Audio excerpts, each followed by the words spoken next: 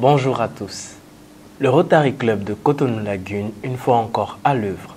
Jeudi dernier, les membres du club ont effectué leur première campagne de dépistage du cancer de la prostate à Cotonou. C'est une initiative qui vient sensibiliser les hommes sur les méfaits de cette pathologie. Le point.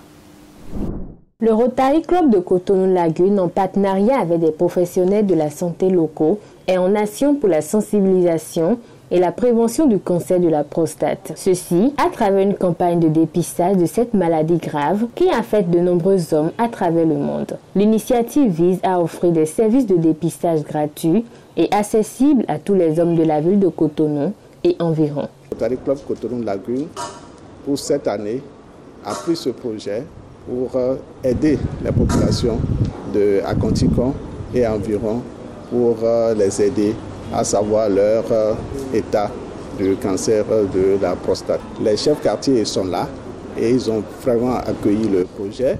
Ils sont très fiers. Le cancer de la prostate est l'un des types de cancer les plus courants chez le genre masculin. De ce fait, son dépistage est crucial pour augmenter les chances de guérison. Cette campagne a permis de dépister environ 20 personnes qui étaient volontaires et a consisté dans un premier temps à faire des prélèvements du sang.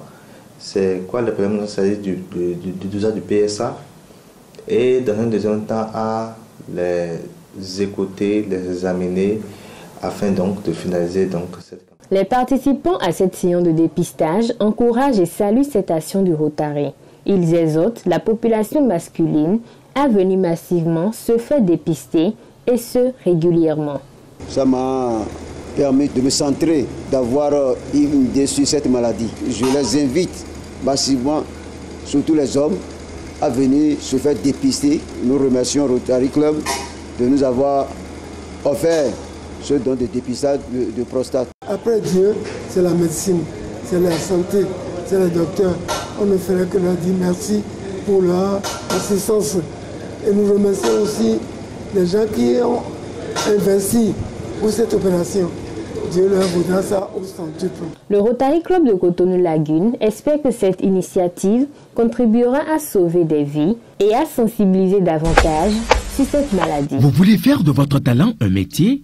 Développer votre professionnalisme Venez à Vidéo Leader. Sur 10 jeunes qui sortiraient du système éducatif, quel que soit le niveau, que 7 au minimum soient formés au métier. Il y a plus de 300 métiers aujourd'hui qu'un jeune peut exercer pour ne pas finir dans le chômage. Tout jeune qui s'inscrit à Vidéo Leader Formation, une fois ayant fini la formation avec une moyenne de 14, c'est qu'il est systématiquement embauché. Il a du boulot et c'est assuré.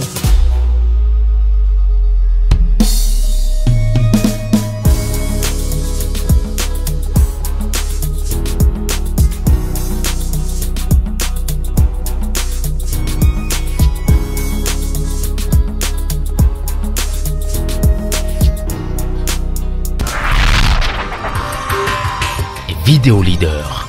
Numérisez votre vie.